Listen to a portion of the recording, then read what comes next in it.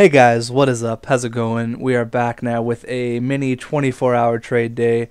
These are the players I have up. Uh, Marian Hossa, I upgraded to the star of the week version, so I have no more use for him. He is a monster though. Um, and then Zdeno Chara with the 95 checking. He is insane with the 90 defense. Uh, he's a bit slow for my liking because I did upgrade all my defensemen to be pretty quick, but he's a beast for anyone who wants to put him on your second or third pairing.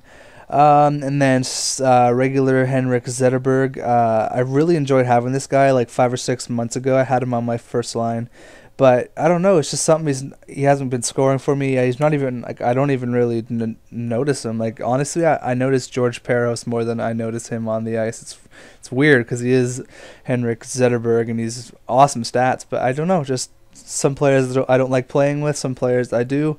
But anyways, so Henrik Zetterberg is up on the chopping block, and last but not least, star of the week, Nicholas Kronwall. Dude is insane. He's 89 overall.